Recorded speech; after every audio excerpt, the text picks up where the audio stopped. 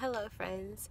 Um, I am on my way to an event actually, and I was listening to an audiobook, and one of the points that was made talked about not getting so caught up in the how that you're going to do stuff, the how of your dreams, the how of those visions or that thing that's burning inside of your heart, but rather just focusing on knowing that it will happen, that it will get done.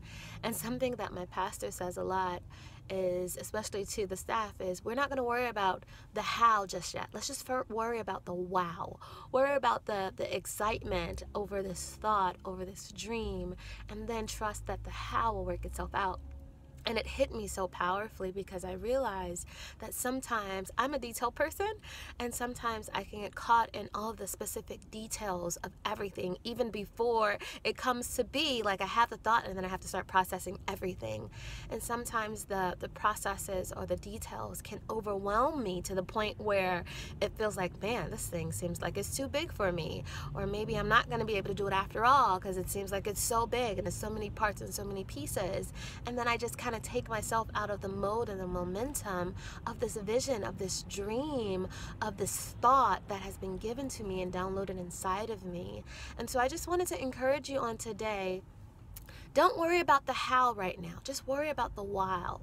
Stay in the place of wow, this is going to happen. Man, this is going to change lives. Not just the lives of myself and the lives of my family, but the lives of all that will be touched um, throughout this process, that will be touched through this dream, that will be touched through this vision and know that your creator has placed this inside of you because he believes that you are able to do it.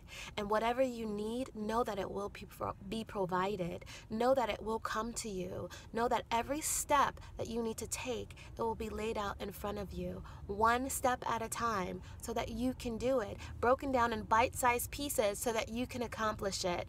Don't get so big and so worried like oh my gosh i, I don't know. I'm not big enough. I, i'm not strong enough. I don't have enough enough. Don't get caught in that, that mindset of scarcity. Don't get caught in that. Just sit down, welcome that dream, welcome that vision, and know that it can become a reality and that you can be the vessel that it comes through.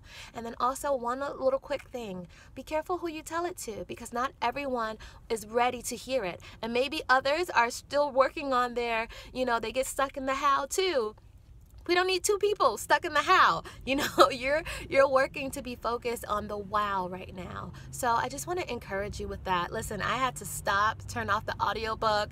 I'm crying i'm praying i'm like ah this is where i get stuck sometimes.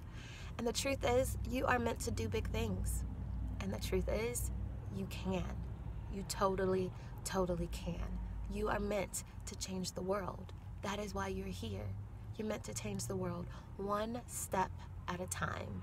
I'm believing in you. I'm trusting in you. I'm hoping with you. I'm cheering you on. Listen, we got to do this thing, okay? We got to do this thing. I'm going to do my work. You do your work too. Stay in the wow. Believe it. It will happen. And then let let the how it'll work itself out. One step at a time. Planning one step. One step at a time. All right. Blessings.